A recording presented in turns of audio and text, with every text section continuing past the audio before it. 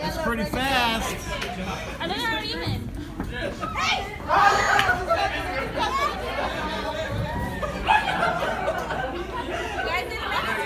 Let's go floating.